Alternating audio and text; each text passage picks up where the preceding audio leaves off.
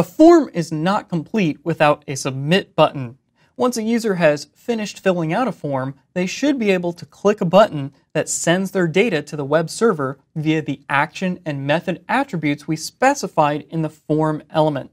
As I mentioned previously, it would take more server-side code programming to make this form actually submit anywhere, but it's still important to learn about the HTML elements that make up a form. One of those important form elements is the button element. I'm going to type one out and then we'll explain how it works. Just below my text area here, I'm going to type a button element and I'm going to make it of type submit. And then it will automatically close my button element if I'm using workspaces.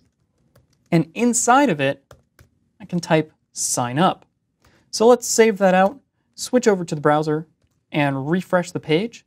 And as you can see, we have a nicely styled button that we can click and it will submit our form.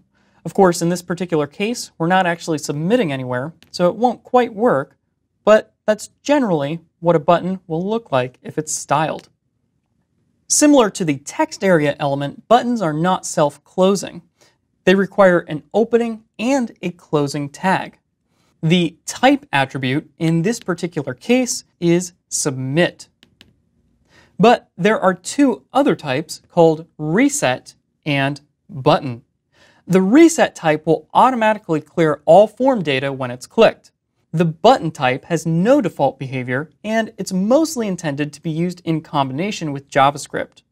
The type we've used here is submit. The default behavior of the submit type is to as the name implies, submit the form and send all the data over to the server. That's it for buttons. Next up, we'll learn how to organize our form.